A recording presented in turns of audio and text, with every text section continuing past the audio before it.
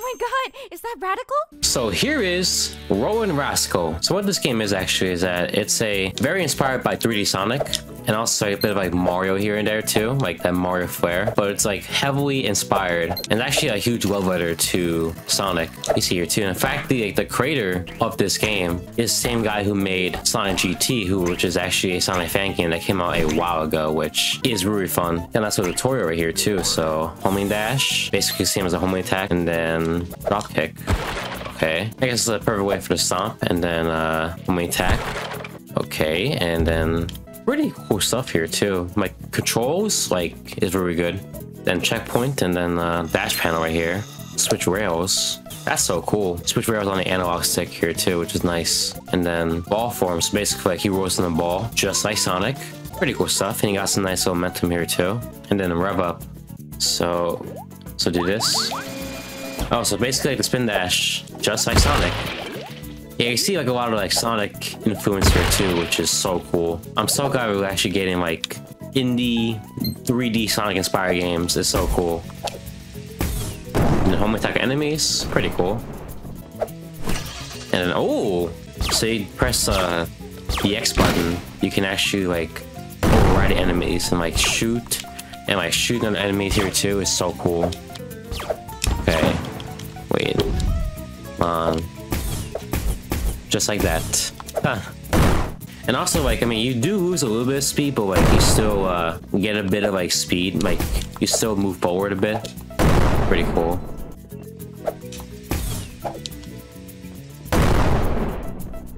Okay, so.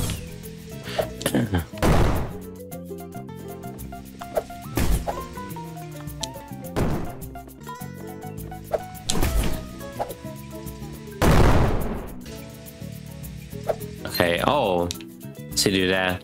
Pretty cool. And there we go, that's the end of this tutorial. Oh yeah, this is on a promising start. Alright, so here's the next stage. So, I absolutely love how the way this game controls. Like, it's so fluid, it's so tight, it's focuses so much on speed too, it's so cool. For here, nice. It has like a nice sense of like speed and platforming. It's just so, so cool. Over here. Oh, dash panel right here. Pretty cool stuff.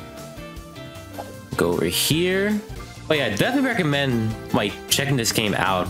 Like the demo's out on Steam, so play it there if you own Steam and a PC. Try the game out for yourself. And yeah, I mean, if you want to support the game even more, then there's like Kickstarter that they have. I'll put in the description down below. But like, if you want to support the game even more, then I uh, recommend uh, donating to that Kickstarter. It's really cool stuff. But yeah, it's so cool we're actually getting like indie inspired 3D Sonic games now. Like, there's another Sonic uh, inspired game that was pretty good too, I heard. It's called Spark the Electric Jester, and it's made by one guy. And uh, like, from the looks of it, it looks really cool. I haven't played it for myself yet, but like, it looks really fun. And it's not a Sonic, and, and it's not a Sonic indie game, but like, uh, it's by the people who made Sonic Mania. It's called Penny's Big Breakaway, and it looks really good. Looking forward to that when it comes out.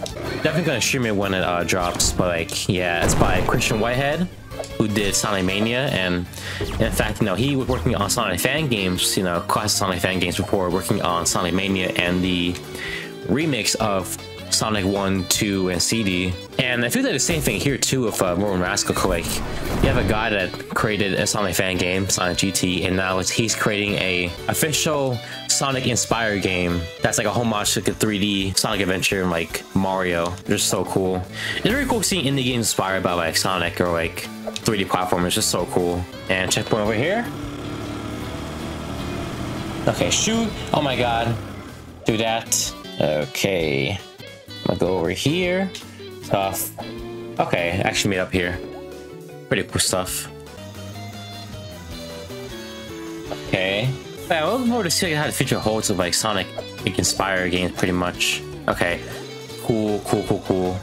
Alrighty. There's some good stuff right here. Okay, wait. Cool. What's over here? Another pathway. Oh, same pathway as before.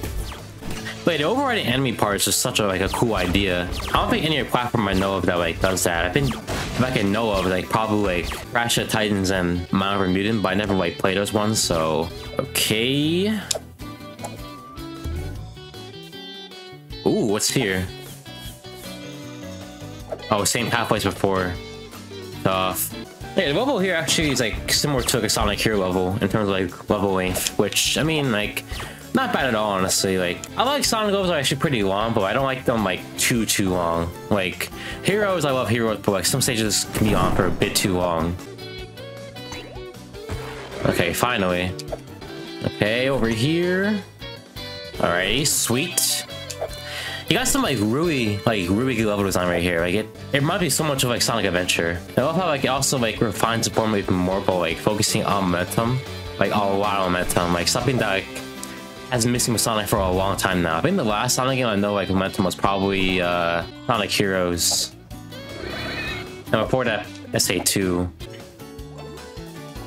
Now it's like rolling to a ball also gives you more speed too, just like Sonic. Very cool stuff.